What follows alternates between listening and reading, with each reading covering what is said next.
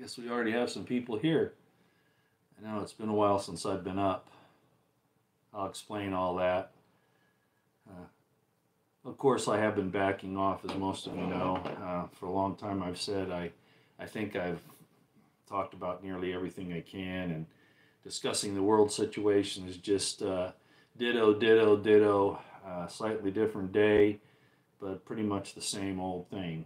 But uh, I kind of promised I'd do this one some time ago, so uh, here we are. That's what we're going to do. Uh, I do have the chat on. Now let's see if we've got anything here. If it's up and running on my other computer, I do have my. Yeah, it looks like it is. Okay, so I'll be able to look at the chat. I think we will probably engage in that to some extent today. Welcome as you come in. Today is the uh, 22nd of January, 2024. Hard to believe. And a lot of crazy things going on, as most of you know, around the world. Uh, and interestingly enough, I have been able to get ahead of a lot of this because of my study over the last several decades. And uh, as most of you know, I'm not uh, a traditional anything. I'm not a traditional Christian. I'm certainly not a Jew, even though I make a habit of studying uh, what I consider to be some fairly important literature and uh, spiritual guidance, uh, aside from some of the problems with it. But I've looked at a lot of different religions, and uh, I've never really, at least not in the last few decades, ever really latched on to any particular one, uh, and there are good reasons for that. But at any rate, uh, I think I don't want this to be a, necessarily a religious discussion tonight, although it's going to touch on obviously the archaeological and historical evidences for the origins of Judaism, and that should ring a few bells for everybody. Uh, it has to do with this book here. Yes, I finally got my copy. This is in the description box for the Amazon uh, post that, uh, or yeah, post that you can uh, order it if you want. Uh, the hardback copy is uh, 35 bucks plus shipping, uh, depending upon if you have, you know, free shipping or not. And no, I haven't read it yet. I'm, I haven't, I haven't, I've just opened it up and kind of thumbed through it very quickly because I knew that this is going to take some time. I know that this is going to take some time, and I'm going to pick it uh, in, well, I'm going to be very thorough. Let's just put it that way. Although I have a lot of trust in what I've already found out about this particular subject matter. So we're going to uh, go with that and see what's happening. It looks like we're having a few problems with the camera. I'm not sure what that might be. Uh, might just be holding up the book in front there. So I'll be careful not to do that again. Why did I decide to do this today? Well, I ordered this book a few days ago, uh, and I'm traveling. I'm not. I'm not at home. Uh, I'll just let you know I'm in Washington State right now. Uh, we have a family member that's extremely ill, and no, it has nothing to do with uh, the the extent sickness of the last few years, nor uh, the extent treatment uh, that most people who have any brains and uh, guts refuse to uh, partake in. Uh, this is a whole different situation altogether. It's very serious. And I'm up here to just kind of be, I guess you could say, a, a second caregiver uh, in case they need something that uh, uh, would not be wise for either of them to go out for. Um, and that's all I'll say about it. But I'm going to be here for a while. It looks like I've already been here for a week, a week plus. and uh, it's very likely I'll be here for uh, very likely uh, at least several months. So uh, this th these are my accommodations. See the camera's not straight. Oh well, big deal. I have to have it at slight of an angle, so you're going to see angles in the picture. Uh, but uh, you know, being a caregiver, a, a primary caregiver, is very difficult. I did it, of course, with my wife Carol, and I, I know how difficult that is. So that when I got the call about this that uh, the uh, the spouse just couldn't handle everything that was required, I packed up the very day and, and headed up. So again, I'm in Washington State. Um, I don't know that if there are people up here that uh, would like to meet or whatever, I don't know that I'll be able to do that because the situation here is quite, quite critical, and uh, I have to devote most of my time to being available to help out. But you never know, you know, things might improve or there might be a situation where I can take a little time.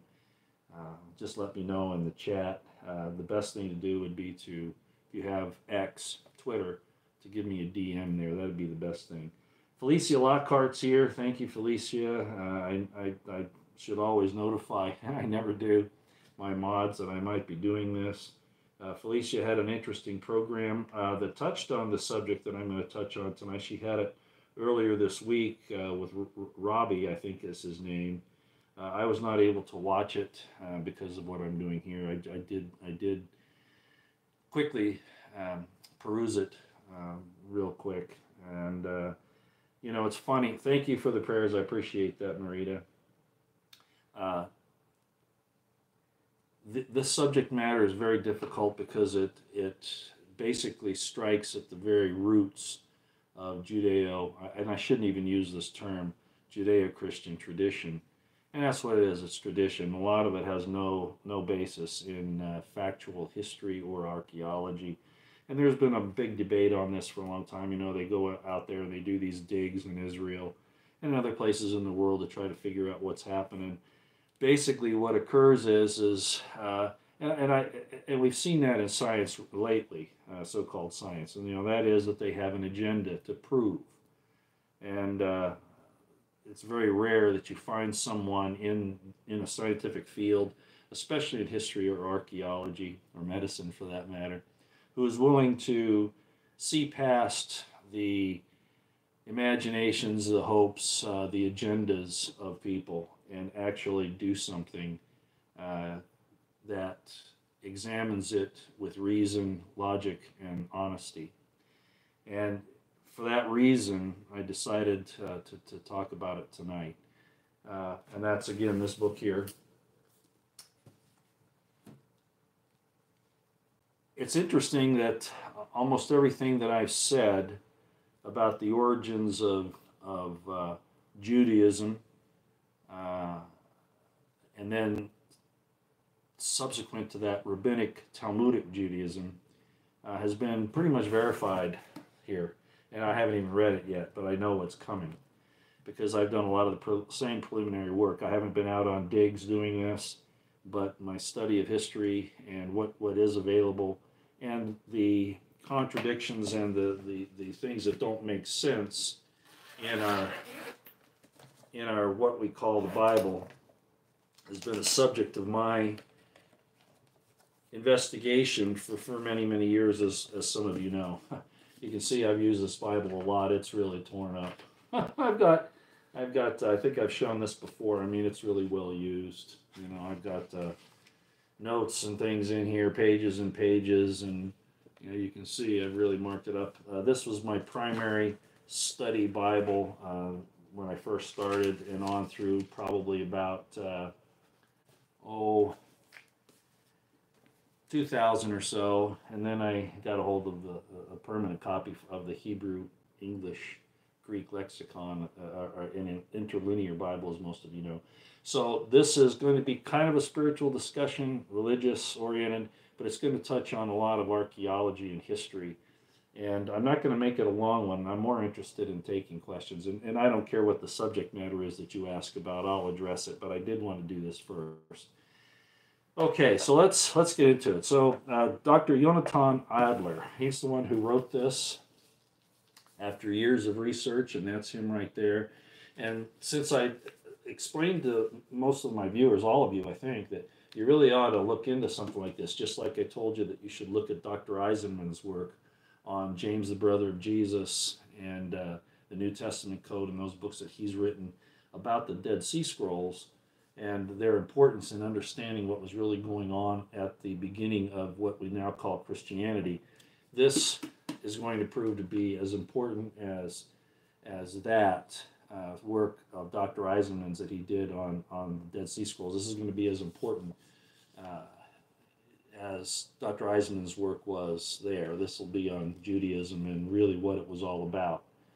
Uh, there are hints in the Torah and in the Tanakh about what really happened, but we're, we're instructed how to read it. We're told how to interpret uh, the, the things that are written. Uh, people with a lot of power and influence have, if not changed the text, which they have done, um, or made it up, they have, in fact, uh,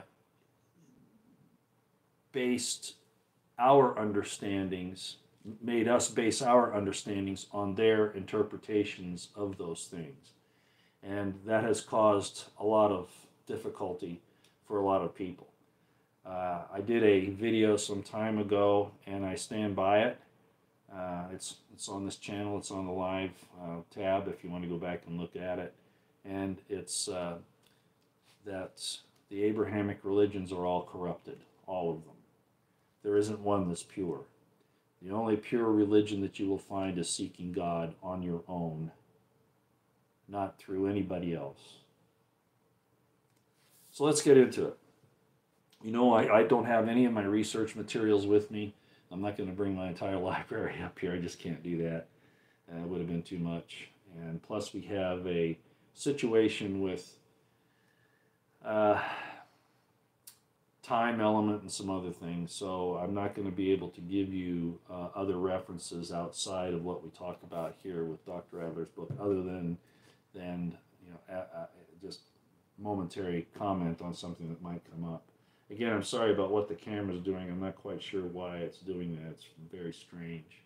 Might be that the light is causing a problem. Let me let me turn off this one light. That might be it. I'm not sure, but let me check and see it might be causing that reflection to do something that's not too cool. So let's see if we can avoid that.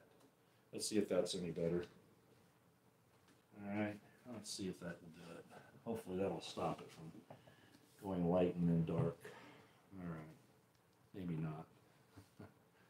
Well, see if it works. Oh boy, yeah, that's pretty dark, isn't it? Yeah, we'll just go with it. All right, like I say, I'm traveling, so I don't have all my things here that I'd, I'd like to have. All right, so why is this important? Well, when I wrote the Crimson Thread, when I did my research, when I got with Dr. Eisenman and the other people that I've talked about so often, uh, Dr. Ruth uh, Altman from Jerusalem University, Dr. James Tabor from the University of North Carolina, Chapel, Chapel Hill, with Dr. David Price, and a few others. Uh, after the study of many years and getting deep into it, I, I really decided that there were some damning things that happened to the claims of Judaism, and of course, uh, also um, since Christianity is based on that, some real problems with it. Uh, bottom line, however, is that I think that the principles um, basically of Christianity make sense. Do unto others as you would have them do unto you, and love God, even if you do not understand Him or comprehend Him. Um, try your best to to find to find him or to make yourself even more so make yourself available that he would want to to discuss things with you and that's a difficult thing to understand and more to accomplish but the search is as important as the destination because it teaches us what's really important and if we're willing to to throw away the garbage and stick with the good fruit, I think it has a, a great advantage to us. What's going on in the Middle East right now? I could talk about Ukraine. I do believe that Ukraine and this thing that's happening in the, in the Middle East are tied together. I've talked about it in some obscure terms in the past, talking about ridding the land of white Christians, of those that the people uh, who live in the Middle East in that one little country call uh, goy, uh, call uh, beasts of the field, uh, and Amalek. And of course, it's more than just the Amalekites in the Old Testament. They include anybody that doesn't go along with them as being their enemy. Uh, and I'm not going to go through all those Talmudic verses or the Torah verses that those Talmudic comments are made upon. I'm not going to do that tonight. What we're going to do is just let you know that there are good men and women out there like Dr. Adler, who, despite the fact that he lives in Israel, and I'm going to read his bio here in just a minute, uh, is willing to come out and show these things. And one of the one of the key points for me was to show that, that these religions have been altered.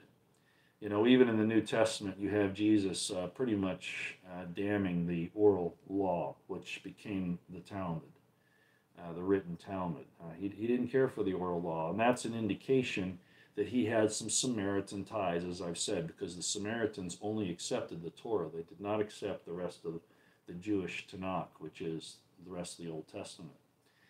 Um, so, uh, as a result of that, uh, the Samaritans reject the oral law, uh, the Talmud in particular, and, and everything connected to it. Well, Jesus did the same thing. He rejected the oral law. So, that's one of the other reasons why I suspect that he really was a Samaritan. And if you haven't heard me talk about that, you can go back and listen to some of those uh, presentations that I've already made. But that's not even important for our study today. What's important for our discussion today is Dr. Adler's book. And uh, basically, what he is saying is, as I explained, uh, I don't know, three or four videos back when I brought his book up for the first time, when I heard him give a three hour presentation on his findings. So I, I know a lot about this already, even before I've read it. But his, his uh, thesis and what he has basically proven, I think, with his archaeological investigation is that Judaism uh, did not, as, as we hear about it, uh, did not come into being until after. Actually, it started to come about during the Babylonian captivity, uh, but it really didn't kick off uh, to where it was um, in any kind of a unified way until the Maccabean period, the Hasmonean period, which of course is around uh, 250 BC to 150 BC, that area in there. Uh, and then, uh, then they made other adjustments as they tried to appease the Greeks and the Romans. That's been my thesis for a long time, and as such, uh, it casts a lot of doubt on much of everything that's written. Uh, there are problems in the Torah, but there are also a, a, great many problems in the Tanakh, and I've explained one of those being David taking the Ark of the Covenant from Shiloh to Jerusalem was not something God wanted, in my estimation, but was a political move on David's part, if David even existed. This, this, there, there are archaeologists that say that they've proven that he did, but regardless of that, uh, the whole idea was is that a story came about uh, by a people that wanted a, a, a, an identity. And they were willing to uh, bring these, I'm being careful with my choice of words here, they, they were willing to bend the rules to bring these stories and, and together for making this identity uh, because it didn't exist before, and Dr. Adler, I think, has proven that it didn't exist as a unified uh, religious body before, even national body for that matter. Uh, but they they invented using other sources and their own uh, oral legends and those things and what they did have written down, and came up with a a story of their people that is really quite enlightening. I think uh, I'm not I'm not demeaning the fact that it couldn't have had some inspiration I think I've told you I have a lot of trust uh, in, uh, if nothing else, using the original language to decipher the deeper meanings. So, you know, God can certainly get in there, but whether this thing is the immutable, ineffable, uh, inerrant Word of God, I, I disagree with that 100% for a lot of reasons. And uh, as Voltaire said, uh, if you want to have people commit atrocities, just get them to, to believe in absurdities his actual quote was, um, if, if you can believe in absurdities, you can believe, uh, you, you, you can commit atrocities. Something like that. And it's very true. We're seeing that in Israel right now. We're seeing that in Ukraine.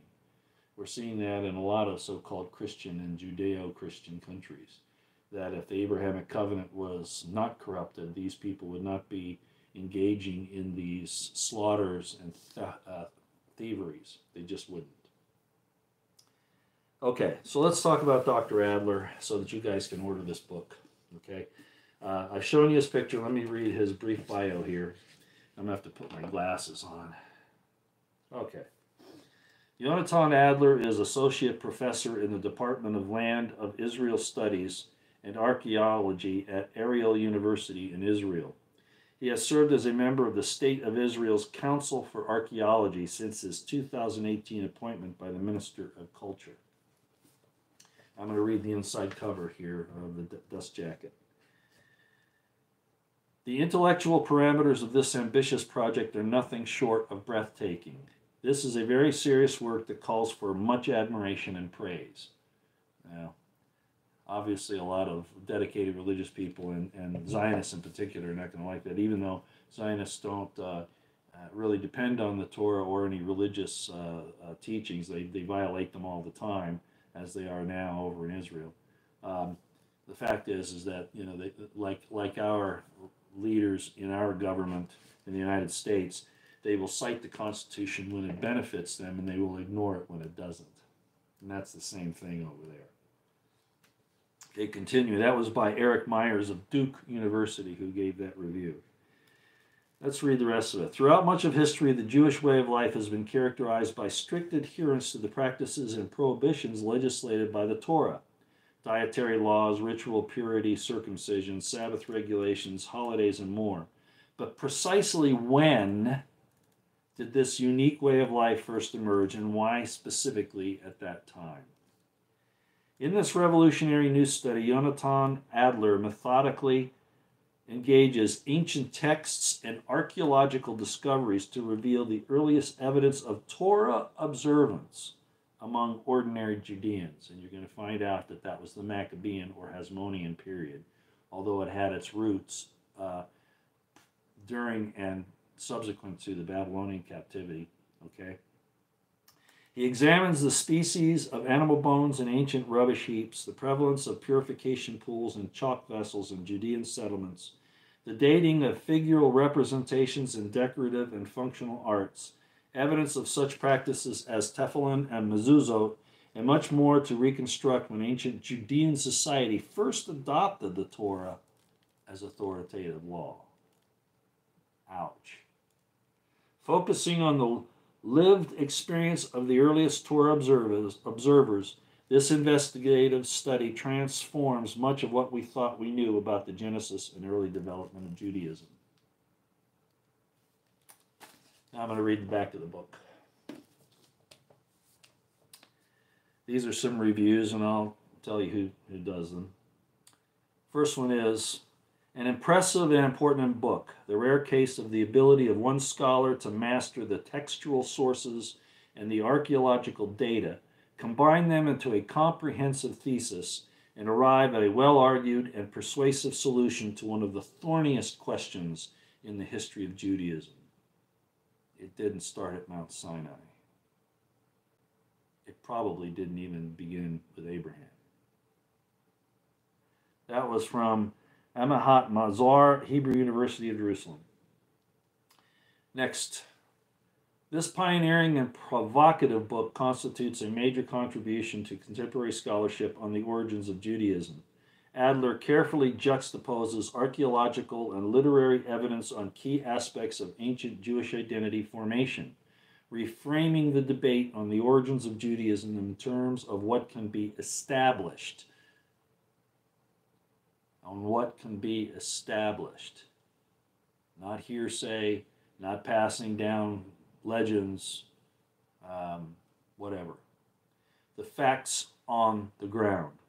Anyone seriously interested in Judaism's origins will want to engage with this book. That's from Jonathan Klawans of Boston University. Next, Yonatan Adler's challenging and judicious analysis of a wealth of archaeological and textual data argues convincingly for the profound significance of the early Hellenistic period in the formation of Judaism as we know it.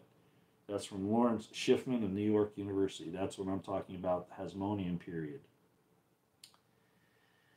And the Seleucids, you know, when they came, the Seleucids were the Greeks when they came into uh, into Palestine there.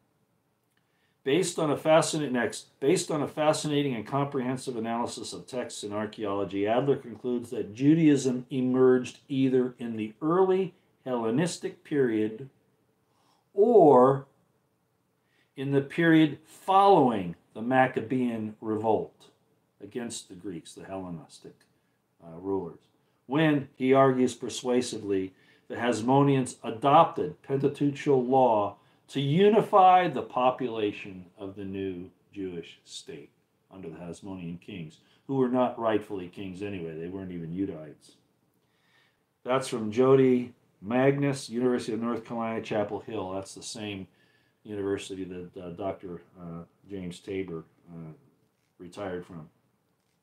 And then finally, this one uniting archaeology with the written sources, Yonatan Adler has illuminated the practice and piety of ordinary Jews of the Second Temple era. Drawing on this work, this book proposes a bold and original thesis for when the Torah became the foundation text, setting the standards for the lives of Jews. That's Albert I. Baumgarten, Baumgarten from Bar Ilan University. And the book was printed by Yale University Press. So, what we're talking about here is basically that Judaism was not a unified uh, group of religious worshippers, and not even a national one. Uh, I've often talked about the formation of the block Hebrew uh, instead of the Proto Hebrew, the the the uh, early earlier method of writing. And there's been a an argument over whether the Phoenicians uh, were the ones who the the Hebrews copied uh, for their alphabet, or whether it was the other way around. And it really doesn't matter. Uh, the point is is that uh, in the Babylonian period, along with the effort to create a text that would unify the people, uh, they also created a, a new alphabet, alphabet with the block Hebrew, and I've talked about this uh, to some extent before. Again, it was a way to get away from any possibility that they were using the Phoenician alphabet uh, and identifying themselves with uh, their own alphabet. And again, that happened during the Babylonian captivity with Ezra, um, Jeremiah, etc.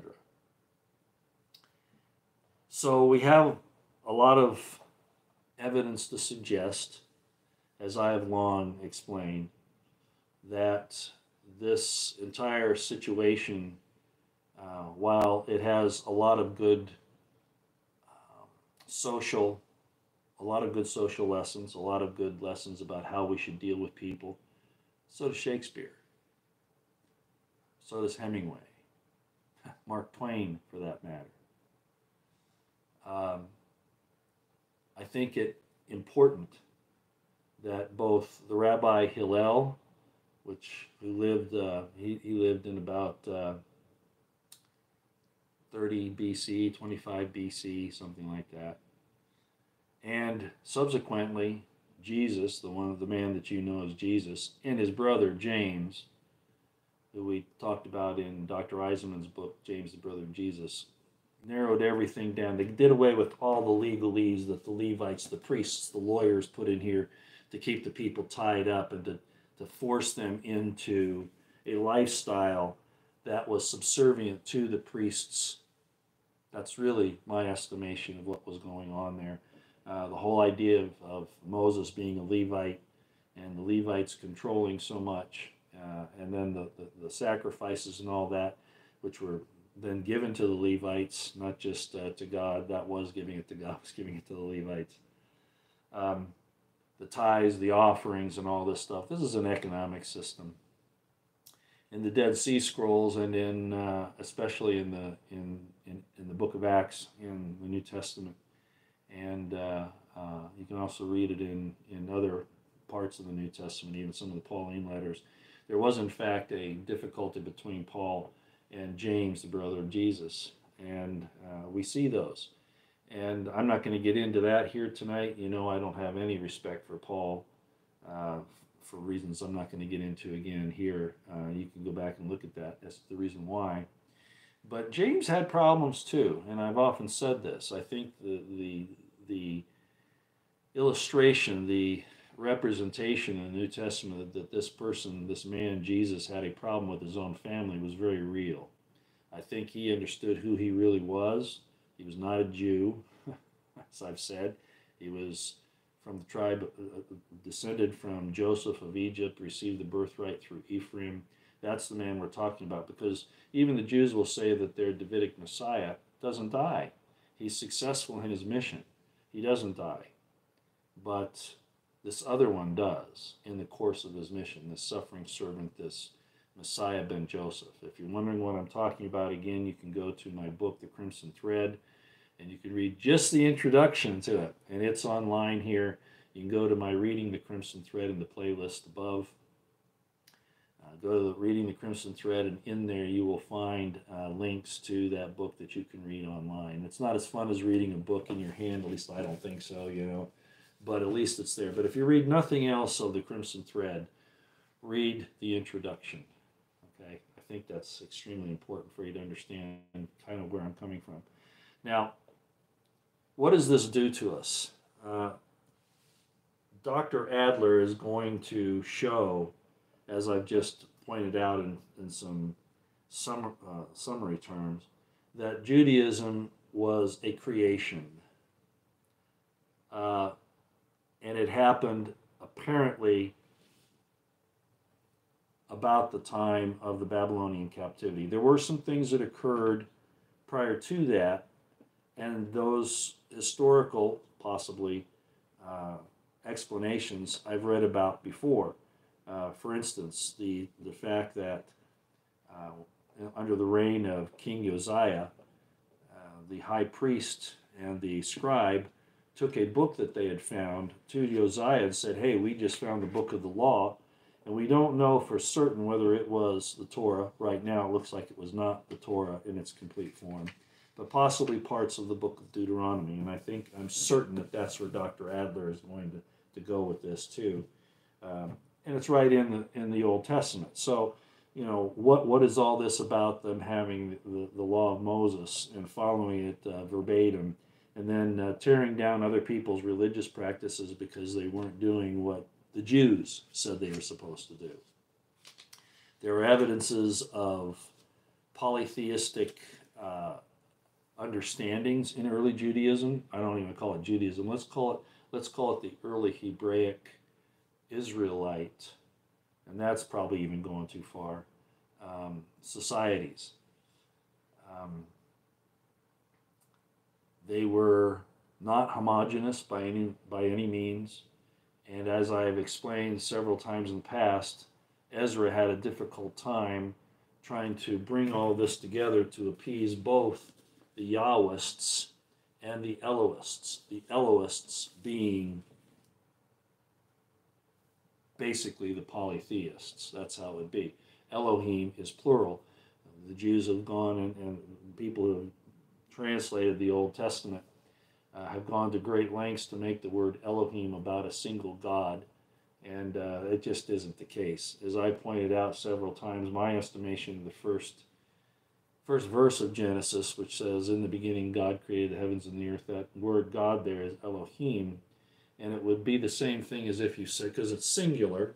So everybody says, so it, mean, it means a single God. Well, no, it means a council of the gods, is exactly what it means. And we get that from Psalms 82 as well. And yes, I realize that there is a, a central figure there that is controlling that council, but still, the word in, in Genesis talks about a council. So, in other words, if, if you were to say the Congress, the United States Congress, the Congress passed a law that's singular, all right?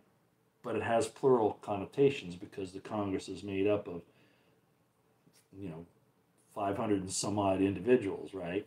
Both the House and the Senate. Well, it's the same thing with the word Elohim when you see it. Now, it gets more specific later, as I've talked about. You know, it talks about the Lord God, which is really Yahweh God. I'm just going to say it that way, even though I don't think that's the way it's pronounced. But um, anytime you see the Lord God in the King James Bible, it's really saying Yahweh God, the YHVH God. So it's identifying a specific God and then we have problems like in Deuteronomy 32 and, and like I said, Psalms 82 and some other places where it, it, it talks about God being part of the ground, that these different gods create or or have control over these different areas of the ground. And you're seeing that right now in the Middle East with Israel, who's claiming that their God gave them that land. They're arguing that that land is theirs because of a 3,500 to 4,000 year old claim that probably doesn't really exist in actuality.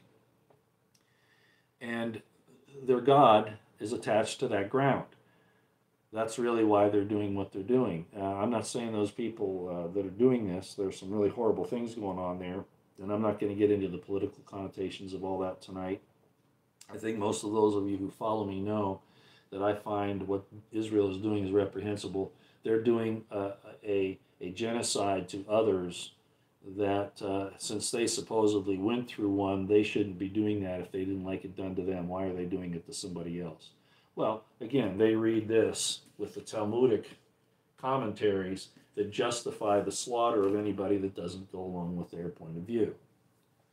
Not all Jews are like that. Uh, I, I, on, on Twitter X, I, I've talked about at Torah Jews and at Torah Judaism, and they're very careful to say Torah. I'm wondering sometimes if, if and I don't know all the sects of Judaism. Uh, there might be some that are more um, tied to the Torah than the Tanakh as a whole. But I get the distinct impression that the Torah Jews and Torah Judaism uh, reject the Talmudic, rabbinic Judaism, that they don't go along with that. Certainly not the Zionistic, xenophobic, uh, nationalistic version of that. So that's basically uh, what I wanted to say about it. When I get into this, I'm going to start reading this tonight and, uh, you know, really getting into it deep. Uh, but I think that my summary of what it's about is, is fairly accurate, and I base that upon, again, the three hour lecture that I listened to by Dr. Adler uh, and also the other uh, accompanying materials here. And frankly, my own research. Yes, I stepped outside the box. Uh, I didn't go with the status quo. I didn't go with the with with the, the gang because I found that that's usually not a good way to go. Usually, the gang, the big group, the majority are not in the right. I could tell you some stories about that, but I won't bother tonight. Okay, so I would I would suggest to everybody if you're interested. This is going to read pretty hard. Let me just pick a page. I'll just pick a page.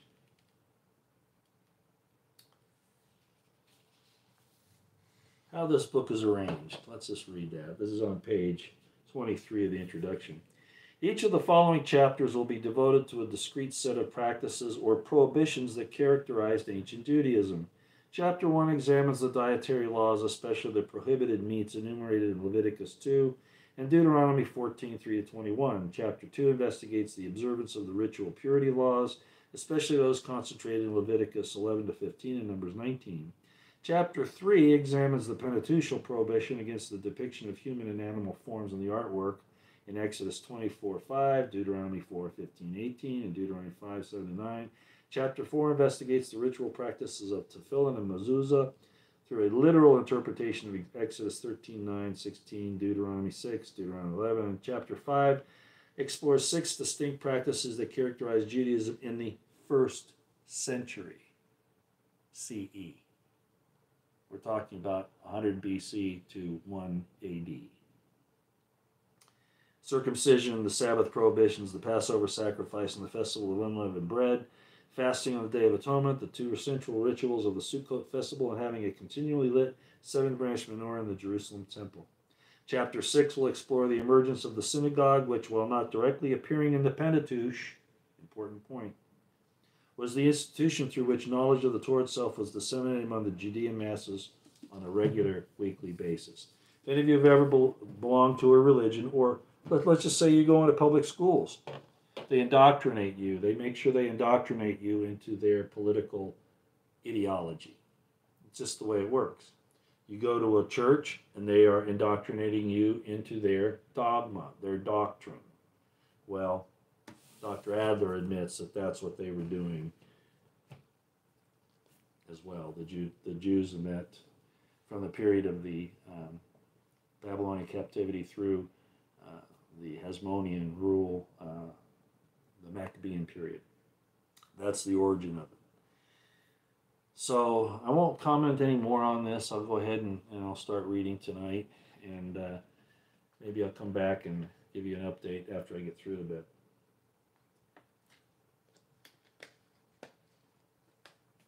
Again, this isn't to tear down anybody's religious beliefs or faith, but it's time we grow up and, and, and honestly ask the questions that matter.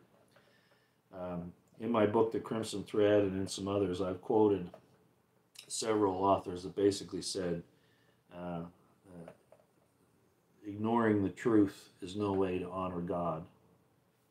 And sometimes you just have to be willing to look at the evidence uh, instead of following institutional demands.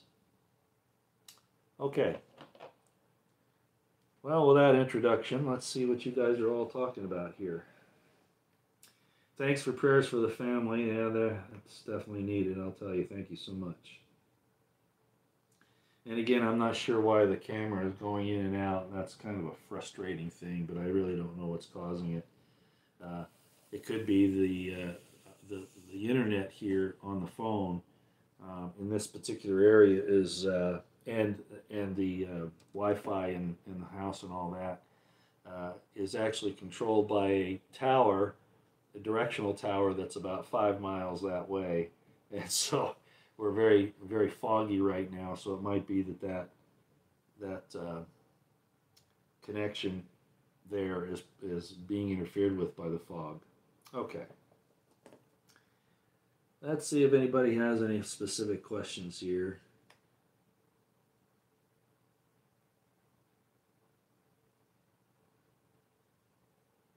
Oh yeah, and it could be this too. Yeah, you're right. You're right. It could be that as well. And I, I'm sorry, I don't have anything else that I can use. All the walls are white, so it wouldn't make any difference. And I don't really have anything to put up. But thank you. Yeah, that's very likely. Um, Felicia always has nice things to say. thank you, Felicia. Yes, Ronnie Mann was with you. Yeah, that's right. That was right. And I didn't hear it all, as I told you, Felicia. I, have been really tied up. Um, okay. Uh, Roosevelt's here. Hi, Roosevelt. Thank you for being here. Yes, this is this is probably you. You asked if I would cover more of this kind of uh, information material, and of course I will. Uh, but you know, when you do this kind of thing, you got to realize the the weight of the responsibility you're putting on yourself. I mean, you know, calling out uh, world class religions is not always the healthiest thing to do, you know. And I, I've been after rabbis. I, I've been coming down on rabbis and ministers and a lot of people over the last, uh, uh, well, since October 7th, and before that, but since October 7th, some of the, as you know, some of the rabbis and other ministers that I've had some respect for, when they came out and said it's okay to slaughter everybody you know that st- basically stands against you, and especially anybody who's not Jew. And that's what they're saying. They they put it in other terms, but that's really what they're saying. It was just too much, and I finally had to call them out. And so if you're on my ex account, if you watch, I even did it this afternoon. I sent it to Netanyahu, uh, the chief rabbi of, of Israel, uh, the IDF, and then some other people for their for their information. Not that they'll ever see it but I figure I've got to at least make the effort to, to call them out. And yes, I'm chastising them, and I think rightly and justly so. They're, they're beasts, what they're doing. Yes, I know there have been other, other uh, genocides, even in our own lifetimes. Uh, Rwanda, for instance, was a problem, the things that have happened in other areas of the world. But the difference here is that is the state of Israel is saying that they're doing it because God told them to here. See the difference? It's not just a a difference of societies, a difference in cultures, a difference in origins, you know, where where they are, like the difficulties in Rwanda, for instance, the different tribes. No, th- these people are saying they don't even obey Torah on a national level. They do things that are prohibited by Torah, and they prohibit things that Torah requires. So they're not the Jewish. They're not. They do not represent the Jewish people around the world. They do not. They represent a basically a small group of people that wanted to usurp the land from others and kill anybody that resisted them. That's really what it's about. So I, I come down on these rabbis and these people, and uh, it's disgusting how they act. They are not abiding by the Abrahamic covenant, the Abrahamic promise uh, to be a blessing to all the nations of the earth. All of it. That's not just talking about the nations of the nation of Israel or the different tribes. They were supposed to be a blessing, not a curse. But that's all they've been now for at least 75 years, and some people would say longer than that. Um, so anyway, thanks for being here, Roosevelt. Oh, and she's, uh, she, yeah, right here it says uh, Roosevelt has put down. You can read Roy's book, The Crimson Thread, and, and Roosevelt has put the uh, the link right there. So if you want, if you want to get that, sorry I didn't put it in. You know, I never, I didn't really think I'd cover it at all but it does tie in. I mean, what, what's what's really fascinating here is that my work with the Dead Sea Scrolls, Dr. Eisenman, my study of history, um, the little archaeology I was able to get into, uh, you know, pointed me into this direction that uh, our faith is in these things is precarious, not because our faith is is wrong but because what we have based it on has been, um, by and large, tampered with and even lied about. And now I've got the archaeological evidence that Dr. Adler presents that will solidify uh, my position.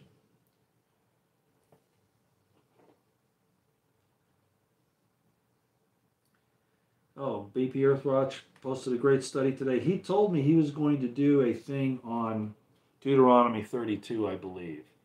I think that's what he was going to do it on. Um, and he and I talked about it, so I'll, I'll go look and, and see what that is. It'll be interesting to see uh, what he talks about. Uh, he called me up and he said, "Hey, would you give me a uh, a, a translation of this uh, this this these couple of sentences from uh, from it was from Deuteronomy, and uh, I looked at it and I know what it says in in English, and I know what it says in the greater number of so-called Bible translations out there, and uh, even in the Hebrew, and so uh, this this was a little fragment from the Dead Sea Scrolls, one of the earliest inscriptions that we have of anything uh, to do with Judaism, uh, Israel, and all that. And it was a Dead Sea Scroll fragment with uh, a portion of Deuteronomy 32 on it. And the, the common translation is uh, that it's talking about the sons of Israel or the sons of others. And even in the Hebrew Linear Bible, and again, I don't have it here, uh, it, even in the Hebrew, it says Israel. Well, in this fragment from the Dead Sea Scrolls, it shows that the original saying was sons, not sons of Israel, not sons of kings or whatever like that. It definitely says sons of God. And that really, really puts a damper on the trustworthiness. And I, I told you about it before. Uh, even as good as Strong's is, uh, the Strong's Concordance, and Brown Driver and Briggs, and uh, some of those other concordances, and the Gesenius, the Hebrew lexicon. Those people that worked on those things had agendas because they had to appease their the people that were financing them. They couldn't go too far off the tracks. So, as I pointed out in a lot of my presentations, their translations are suspect. Uh, and that's why I use Notaricon so often to break down the words into their individual letters so that I can understand the real meaning of the word, not what somebody else tells me it is. And uh, it's, it's a very effective system. Now, some people might say, but Roy, you're saying that all this was manufactured. Um, well, again, just like with Shakespeare or with uh, Mark Twain, Hemingway, or any other great author, there's inspiration there. It's it's gonna it's gonna come through, and so people say, well, then it is the Bible is the immutable, ineffable Word of God. Well, no, because it, it's not always telling you the truth. And uh, again, my my explanation of uh, Shiloh that I talked about in the past, and uh, the Ark of the Covenant going to Jerusalem under David, as just an example. And then the situation with finding the book of the law, which was probably Deuteronomy in Josiah's period, uh, it, it, those are problems. Those are big, big problems, and that's just touching the, the surface. So, uh, you just have to be willing to, to, to hold back your your your worry and your rage and your and your uh, your feelings of being lost when you look into these things and just trust that what you're really doing is you're trying to find the truth of the matter. Like a criminal investigation. You know, when you start off as a criminal investigator, you do. You have a hypothesis. You have, you say, okay, well, I think this happened. And then you set about either trying to prove it or disprove it. Okay? Usually trying to disprove it's a better way to go forward. Well, people don't want to do that with religious matters. They feel that if they, they attack something from the position of trying to disprove it, that they're being unfaithful. Quite to the contrary. Even the Tanakh says that God told us to reason with him as one man reasons with another. So I, I check all of these things as I go through, and I don't take them verbatim in, in this. Okay, I don't take them verbatim. I test them against other things. And those other things are the two great commandments. And now, not only do I have the historical background uh, that I've, and, and, some archaeology, of course. I'm not an archaeologist, though, but some some archaeology I've used, and now I've got this that will close the loop on. I think the proof that modern day Judaism really came about in the second to third century BC under the Hasmonean Maccabean rulers as a way to unify the people, uh, with Ezra's assistance back after the Babylonian captivity, as I've said. And then after the uh, defeat of the people of, of Judea in the revolt of 70 AD when Rome totally crushed them, uh, we, we have more evidence that something else was created after that at the Council of Yavna, as I've talked about in the past, which was the birthplace, the birth time of not just Judaism at this point, but modern rabbinic Talmudic Judaism, which actually doesn't follow this at all, almost not at all. So now I'll have the archaeological evidence, and again, Dr. Adler says that. Uh, and I'm going to get into the details, but says that the, the, the, as Judaism exists today, and certainly the Judaism of, of the first century AD, which Jesus was apparently so, the person who knows Jesus was uh, uh, questioning so much, uh, really didn't have its its uh, origins uh, much earlier than 250 BC. Well, that was a long explanation. Sorry, Roosevelt. The founder of the Zionist movement was actually a Sufi Muslim. Yeah, and the and the founder of uh, Islam used the Talmud and uh, early messianic uh, uh messianism, uh, Christianity, basically, to, to formulate Islam. Isn't that interesting? The, the Quran. Paul hijacked the Christian movement. Yeah, he did, Roosevelt. Um, you know, sometimes I wonder if maybe he did us a favor, but the problem with it is, is that it became too uh, ethereal. Paul's God was ethereal, esoteric. Uh, uh, there wasn't anything real to it, and that was that was not the case. I mean, you you look at the the the uh, and again, you know, we're talking about things that were probably tampered with and changed, but uh, when you read the old, uh, you know, like in Genesis and places like that, you're talking about a God that, that was there and associating with men as a man, often like with Abraham at the plains of Mamre. The problem with Paul is that he never met Jesus. He supposedly, uh, you know, had this revelation, uh, and there are all kinds of problems with that, as I've talked about in the past. Because he doesn't do what he was told. If, if God told him, if Jesus told him, uh, don't persecute me and go over here and do this and that, well, he didn't do it. He did exactly almost opposite to what he was told to do. I, I consider that Paul was an opportunist. He was part of the, the movement to obscure um, uh, the development of, of Messianic Christianity, Messianic Judaism for that matter, uh, and to uh, help the Romans defeat the Messianic movement. That's what I think. And his his difficulties with James are evidence of that. Again, though, James James wasn't a clean one owner as far as I'm concerned. He was a good guy, but but uh, he uh, he and his brother Jesus, I think, did uh, run into each other's uh, uh, emotional roots from time to time, just like the New Testament does say. Uh,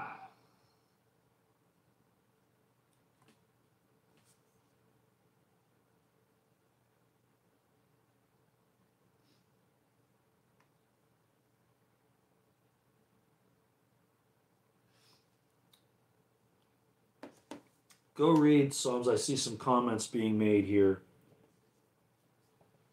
Go read Psalms 82.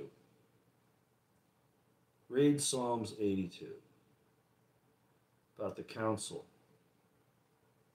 And uh, Dr. Michael Heiser would say that that would still say that uh, Yahweh is the unique one above all the other gods. But there are other scriptures uh, that, that, that say that he only got a portion, not everything. So we're, we're dealing with early Elohist versus Yahwist philosophies.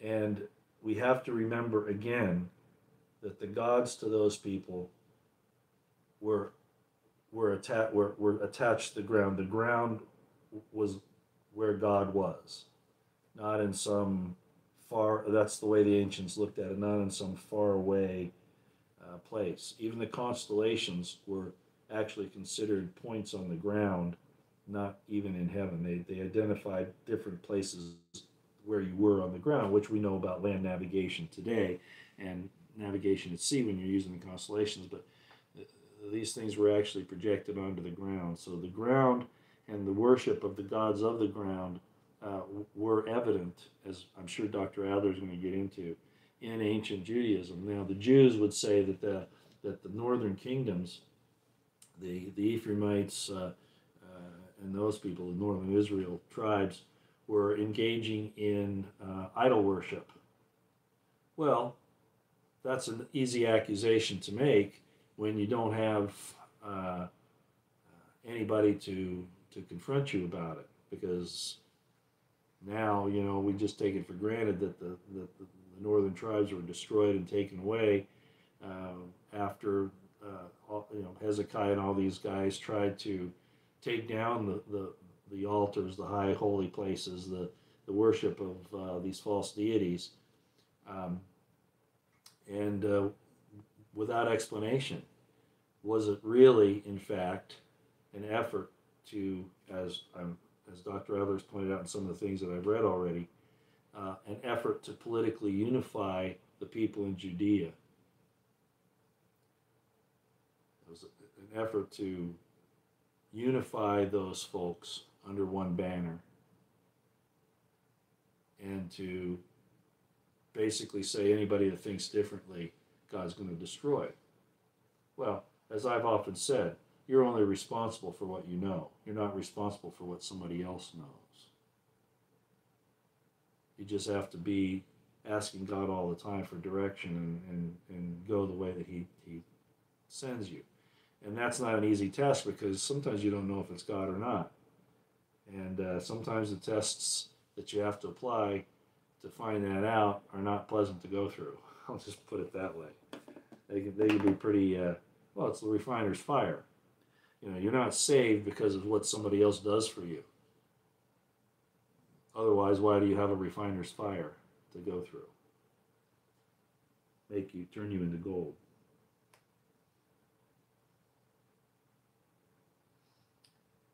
Oh, you truly took too many COVID shots. I do believe Jesus knew who he was.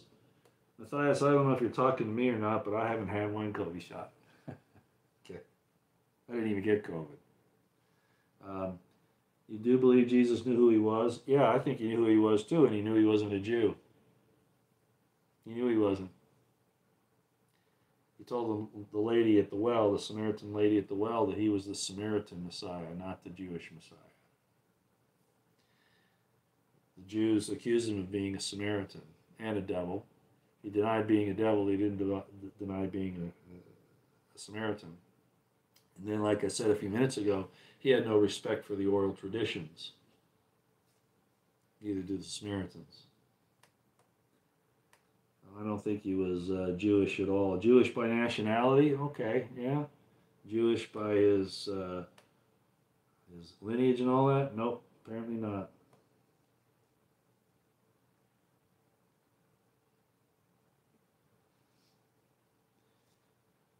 Well, I'm not going to get into the different names of God and who those gods are and whether they're just further appellations of Yahweh or not. But uh, just saying L's fine. Uh, did you know that the word Allah, that so many Christians and Jews are so upset about, that uh, that uh, the Muslims use, is actually in the New Testament? it's Aramaic. Allah instead of Ali, it's Allah. They get Allah from that. And yet everybody wants to get upset that they worship a different God. Well, it's all been corrupted, as I said. All the Abrahamic religions are corrupted. There isn't one that's pure now. Okay.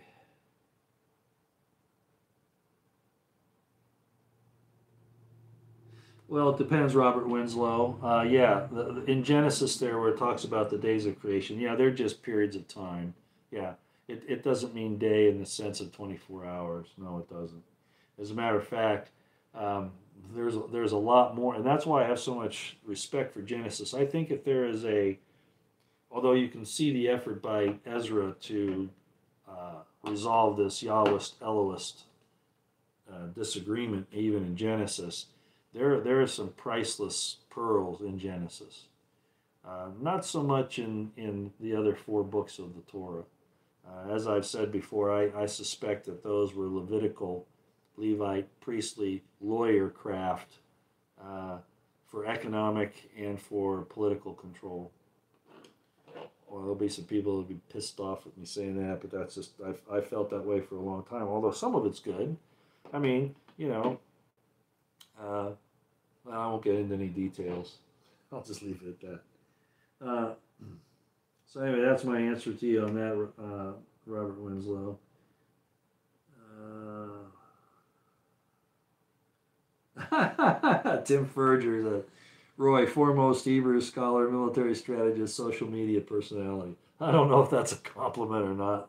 I'm sure you meant it as a compliment, Tim, but I don't feel like that sometimes. You know, it, it's kind of stressful, you know, because like I said, like I said a few minutes ago, even in my book, The Crimson Thread, to take on a, a, world religion is a pretty daunting task. And, and when you realize that so much of what we have built here, I, I know Christianity has done some great things. I know that, you know, uh, but it's also done some really bad things under the guise of Christianity. And I'm not going to get into those other than I'll just say this one, and that was the killing of Hypatia, the uh, the lead philosopher, the head philosopher of the Library of Alexandria, and the Christians killed her because she wouldn't bow to them, bow to their interpretation. And then, of course, we saw the Inquisition during the, the Dark Ages, so called, and we saw the, the way the Salem witch trials. These are just examples of what Christianity is capable of. So if you think that that that, that their belief in absurdities it, it will not cause them to commit atrocities. Historically, it's proven that it does, and they do it again today. There are Christians that will will say that they do God a favor if they kill you, just like the Muslims say, just like the Jews say, merely for not abiding their take on doctrine and dogma.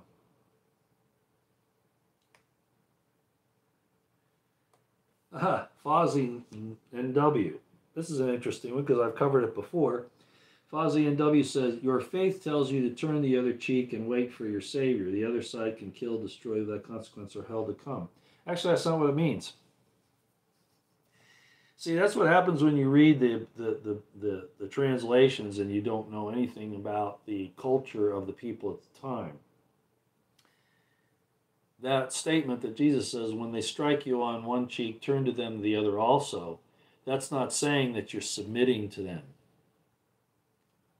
It's a challenge, it's a justification to act. It's not submission, it's not passivity. You've been taught to understand it that way because that helps the government. I mean, look at the government. Who, who, who wants to have control of all violence? They talk about uh, well, we're upset when people want to do violence. The FBI says that, then the Justice Department, that's when we go after somebody when they say something that could be considered violent. Well, what does the government turn to when it doesn't get its way? Violence. Jesus wasn't saying to be passive. He was saying, when they hit you, let them hit you a second time, because then they then you will accept the challenge. Let me tell you how it worked. They slap you this way, and then they backhand you the other way.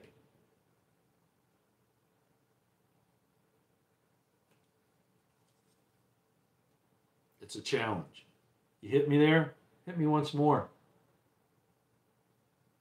The law says that you have to give a person a warning. You can let them do it to you twice. You don't let them do it to you the third time. So you misunderstand the scripture. It's just like be as be as uh, um, mild as a as a dove, and as wise as a serpent. Wise as a serpent, harmless as a dove. Have you ever watched what happens when one dove gets attacked by a hawk? I have. You know what happens? All the doves come and kill the hawk. These parables and things are much more important than you realize. You're supposed to stick together and protect yourselves. Be as harmless, as wise as a serpent, know when to strike. Serpent won't strike when it thinks it's going to get hurt. Wise as a serpent, know when to strike. Don't strike when you're going to get hurt. And harmless as a dove, don't do anything. But if you attack one of our own, we're coming for you.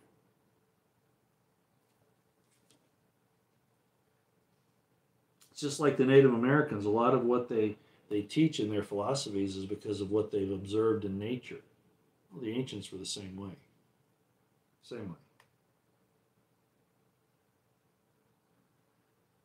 I can tell you there's nobody that's a son of light in Israel right now.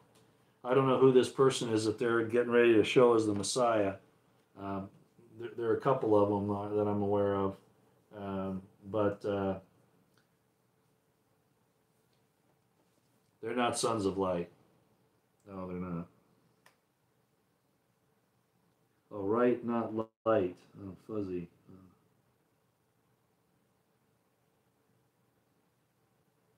Okay.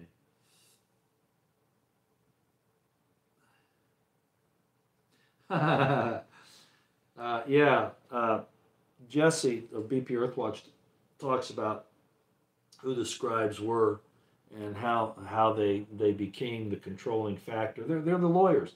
The scribes, the Pharisees, and the the priests were basically the the uh, the educated class, the lawyers of the day, not just priests, not just scribes. So yeah, they did some really shady things even Jeremiah talked about it. I, I quoted it to you. I think it's uh, Jeremiah 8 8, where he says, The scribes have lied.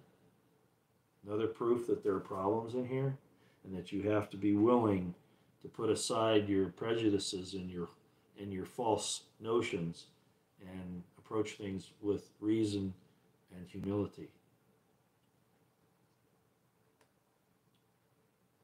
Sorry, I'm a little tired tonight. As you can imagine, taking care of. Uh, um, yeah, that's true, Roosevelt. Jesus' teaching. But Buddhism isn't a religion, actually. It's a philosophy that you, you can be anything and still be a Buddhist. And there's, there's a lot of truth to it. I agree. Uh, but anyway, getting back to this thing about me being tired, yeah.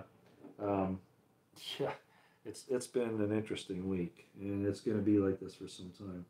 Is this Paul Saul? I'm not sure what you're talking about, Debbie. Somebody else talked about. Are we at war right here at, at home, Mr. Potter? Tony asked that. Oh, absolutely. Your own government's at war with you. And it has been for a long time. Debbie Donovan asks, Is this Paul Saul? I'm not sure what you're asking, Debbie, but yeah, um, Saul um, is the name in both in Josephus and uh, when he first starts out, and then he then he becomes Paul, which is kind of an interesting change. Um, he was a Benjaminite. He claims he was a Benjaminite. What was the what was the uh, the blessing to Benjamin that he be a ravening wolf? and the first king of Israel wasn't a Judite; he was a Benjaminite. King Saul, a ravening wolf. That's exactly right. Judah is, is a lion. Well, when you, when you write your own history, you can you can say nice things about yourself, I guess. Debbie, I feel that the last super was many men's proof of betrayal. On his 12, he sold them out. Can you put a link to Psalm? I feel the Last Supper was many men's proof of betrayal. On his 12, who sold them out. Can you put a link to Psalm? Uh, I think you're asking about uh, the, the, the betrayal there. One, one of the things that happened in the New Testament, um, the people that formulated the New Testament, and I'm saying it that way, they had access to this stuff, and of course, uh, they they had the the outline, I guess you could say, of what they wanted their Messiah to look like and what they wanted him to say. Uh, but again, Debbie, what I'm going back to is that this Jesus character was not a Judite; he was an Ephraimite. He was a Samaritan. The Jewish Messiah, as the Jews correctly explain, according to the Tanakh and all of that, is that he defeats all of his enemies, that he doesn't die in the course of his mission. That's the Judah Messiah, okay, the Davidic Messiah.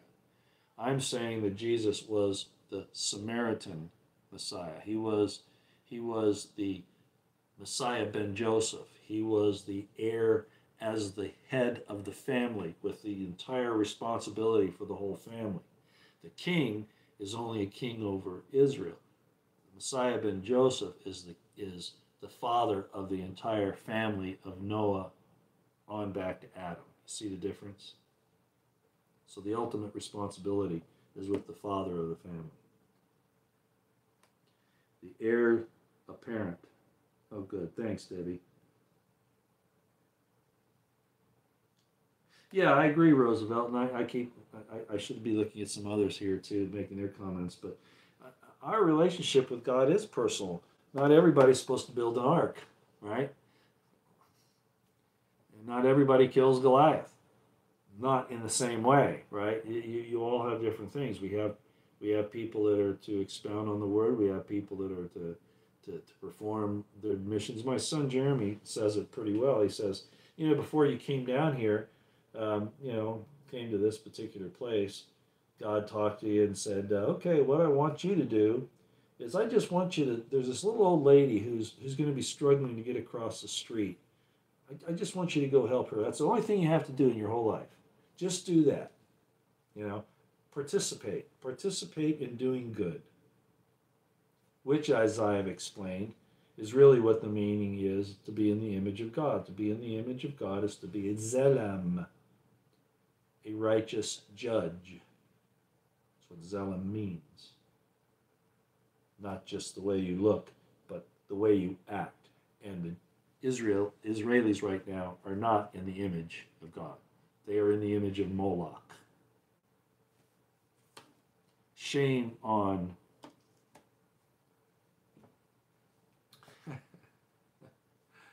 I saw today that Elon Musk Not only did he go to to to uh, the area there of October seventh and all that, but then he goes to Auschwitz. I Want to talk about the history of genocide and ignore it as it occurs in your own day.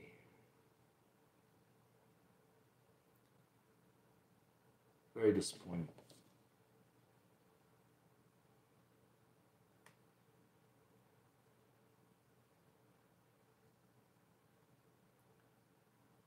Jeremiah 8, 8. Emergency exit. How you doing? Yeah, emerg- I made you a, a, a mo- moderator. Thank you for being here.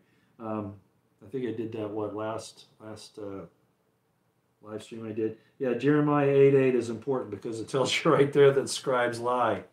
So how do you find out when they lie? Notaricon is one of the best ways to find out.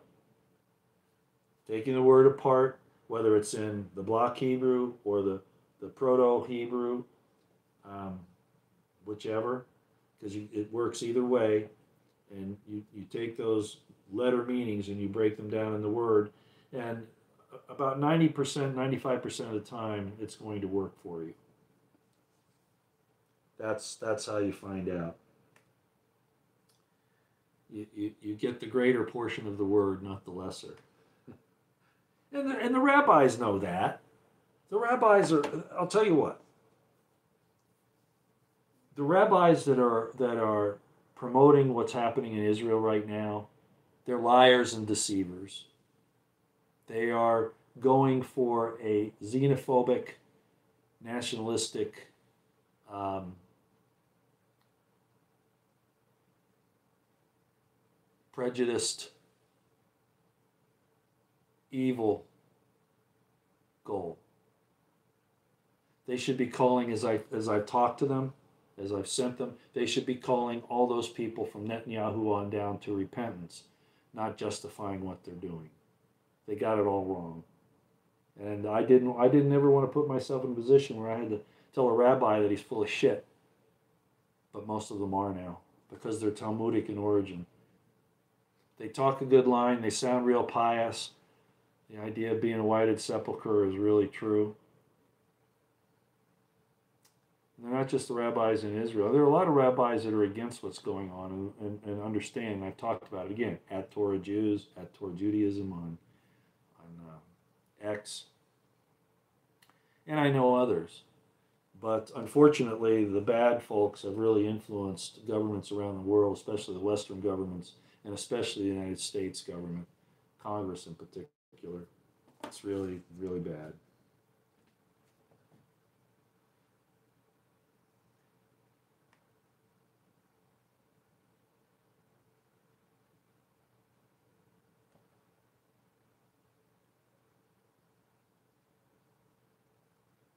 Yeah, Debbie, that's right. Yeah, Paul was originally Saul. Yeah, not not King Saul, but his name was Saul. That's how he's known. He's not called Paul in uh, Josephus. He's called Saul. And there are questions as to whether or not that's even the same guy, but uh, I'm pretty sure it is. And he's also the in the Dead Sea Scrolls. Uh, he's identified as as the liar. Yeah, I'm pretty sure he he's in the position of the liar in the Dead Sea Scrolls.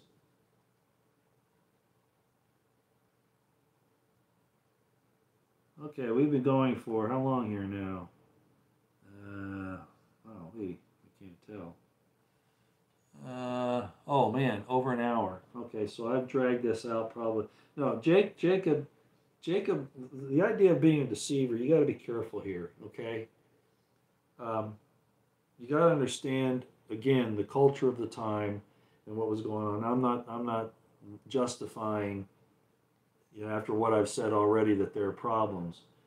Um, Jacob was there were two two sons born. They were twins, Esau and Jacob. You have to understand that in the old law, I mean, and it's very true today too. In in in royal lines, you don't marry outside your order. And in those days, uh, you didn't marry outside of the of the uh, uh, Shemite line, okay, uh, because they wanted to they wanted to keep their their genealogy straight. Esau violated that and went and married uh, non Shemite women, which by the law at that time uh, negated his heirship, his right, his birthright.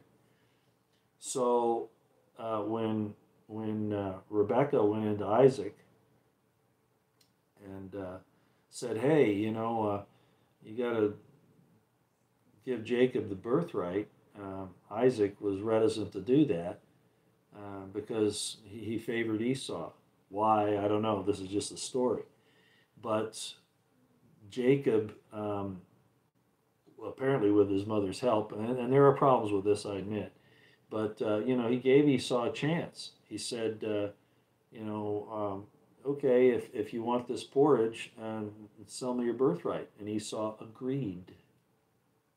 Plus, he had already forfeited his birthright by what he was up to doing. And he actually married some of those women later, but he was in the process apparently, um, having things to do with them. So the real problem was, of course, when he, he pretended to be uh, Esau when he goes into his father yeah, that was a little shady. Um, but again, does that mean that Esau should have kept the birthright? I wouldn't want to go there. Uh, no, thanks. I, I, think that that wouldn't work. So, uh, in, in, in some ways, you know, I can justify what he did. And in other ways, I find it somewhat reprehensible. But it's a lesson, I think, In another like I said, there there are lessons to be learned in the scriptures, and uh, subsequent to that, what happened to Jacob and, and his family, I think, is is you know he he received some punishment. He lost Joseph for a while, right? Uh, his his one of his sons, Reuben, slept with one of his wives, his concubines, right? And Reuben lost all of his his uh, birthright. Uh, know, so Jacob Jacob suffered for what he did. Um, he didn't get away clean, all right, but apparently it did remain there to some extent. All right, well, we've been going for a long time, an hour and 25 minutes almost, so I've, I've dragged this out longer than I meant to. I just really wanted to give you a, a little information on, on this. So I'm going to start reading this uh, when I have free time, mostly in the evening. Times during the day I do too. Again, I'm in Washington State. I'm away from my library. I'm away from my research material. I'm not going to be able to give you any specifics. I'll just have to recall things as best I can. I didn't even bring a copy of the Crimson Thread with me, so that shows you, uh, you know, how quickly I had to had to take off. It was virtually I got the call and I was gone the next morning on the drive up here. So uh, you know we're hoping that that uh, things will turn out okay, but it's a rough one. This this is as bad as it gets. Alrighty. I could talk about uh, world situation, but I think uh, this shows you that you know history is not what we've been told. God is not what we've been told. Um, I do believe that we are literally in His image, physically and spiritually, but that we have fallen to a point where our our representation of that image has faltered and, and even become evil in some regards. And it, it hurts my, my feelings that uh, people that were supposed to bring forth blessings to the nations are actually murdering them and using deception and warfare and lies and thievery instead of offering help, being a blessing, doing what Joseph did and providing food, Joseph of Egypt, providing food for those who need it. See, Jesus, that's the name Joshua. Jesus is just the Greek form of Joshua. And as I pointed out, I believe his real name was Joseph.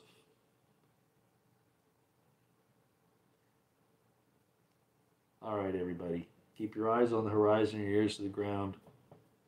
Keep your situational awareness on high. things are going to get rocky this year. I think, you know, we've seen a lot already. It hasn't happened as quickly as I thought it was going to. Things, you know, sometimes slow down a little bit, but you, I put out there the uh, the information how they they're working against us, and our own government refuses to protect us. We just had what happened today. Does anybody know what the Supreme Court did today? Can I ask that? Does anybody know what the Supreme Court did today? I, I shouldn't be surprised, but I'm I'm I just don't have any hope in this government at all anymore.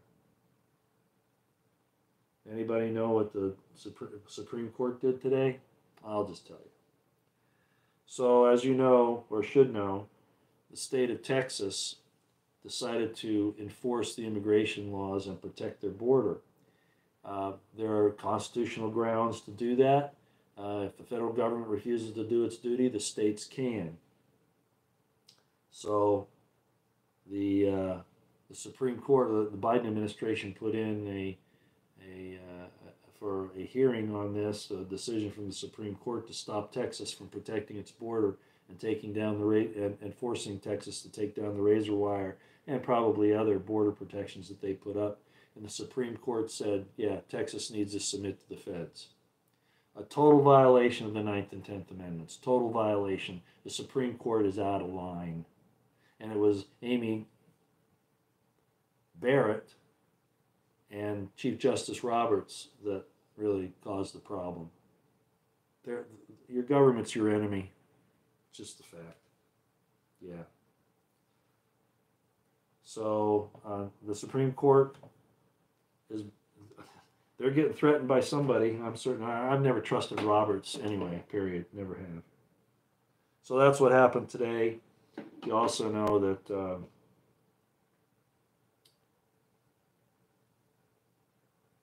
it's come out that Israel implemented the Hannibal Directive and killed their own people uh, purposefully.